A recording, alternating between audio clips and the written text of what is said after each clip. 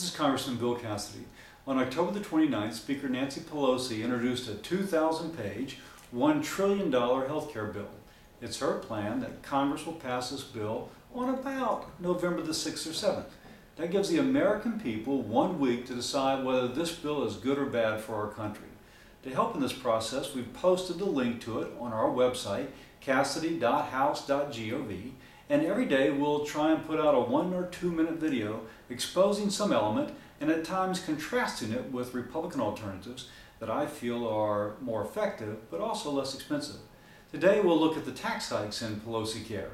Well, uh, here's a part of the bill. On page 551, there's a $460 billion tax on small business.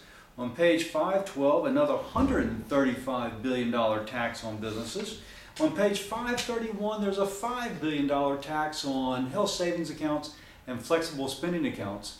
Um, and then there is a $20 billion tax later in the bill on medical devices such as hearing aids and wheelchairs. All told, the Pelosi Care bill has about $730 billion in new taxes. Now, small businesses create jobs in the United States. You're a small businesswoman or a small businessman, and you feel like these taxes will hurt your business and your ability to create jobs, contact friends and family across the nation, ask them to contact their congressperson to ask their congressperson to vote against Pelosi Care.